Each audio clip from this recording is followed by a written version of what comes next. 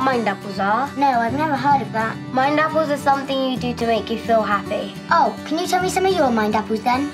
Yeah, I can. My mind apples are football, drawing, running, and other sports. Okay, that's great. Should we go around school asking other people what their mind apples are? Action! Action! Action! Action! One of my mind apples is to play on the trim trail with my friends.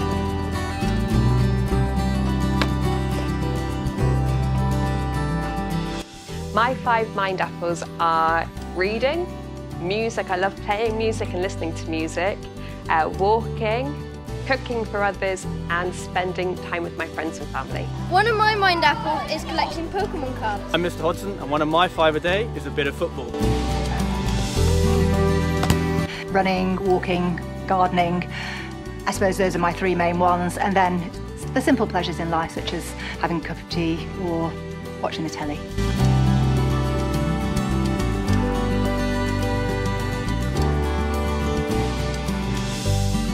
Explain a head teacher's mind is very, very difficult. It's a bit like an onion and peeling all those different layers off. There's so much going on.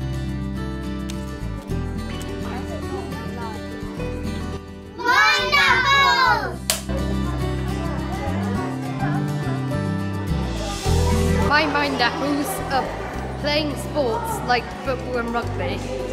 One of my mind apples are health and money. One of my favourite mind apples is that I like to read books. So some of my mind apples are boxing, um, going on holiday, planning holidays, having something to look forward to, being with family, and my absolutely wonderful cuddly cat, Millie. Now we've gone around the school, let's hear some of your mind apples. Some of my mind apples are having fun with my friends, dance, gym, colouring and reading books. So in my mind, there's a lot going on, and I could really unpick it for you, but you'd be here for a very long time. And that's a wrap!